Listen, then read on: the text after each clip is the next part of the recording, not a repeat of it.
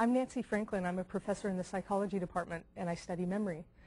Memory is required for everything we consider to be intelligent. If you use a pen, you need to pick out the pen from other things in the room. You need to know how to move your hands to pick it up. You need to know what it's used for. If you understand what I'm saying right now, uh, you need to have a memory for what the words mean and for complex rules of grammar. And if you meet me for coffee later on, you need to be able to pick me out from the crowd. You need to remember where we said we'd meet. You need to know the rules of social interaction, and you need to know what it means to go out for coffee.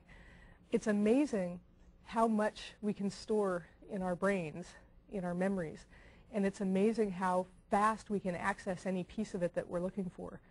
Uh, artificial intelligence programs have tried hard to emulate what we do without effort, and a lot of the time they just can't come close.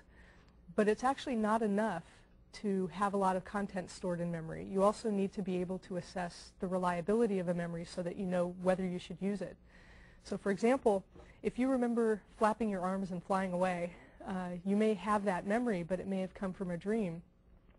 And it's important for you to be able to tell the difference between real memories and memories that come from fantasy or imagination or dreams so that you don't jump off the roof of a building believing that you can fly.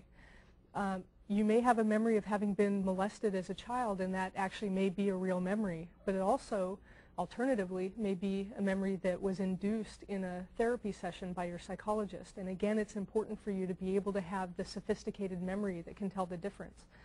Uh, you may have been a witness to a crime and you have a memory of having seen a particular face. It's important for you to be able to tell the difference between having seen the face at the scene of the crime versus in a mugshot book that you flip through later on. In order to successfully make it through life, we need to have a sophisticated memory system, one that consists not just of a lot of content, but also one that has powerful decision-making uh, mechanisms for deciding whether a memory is reliable.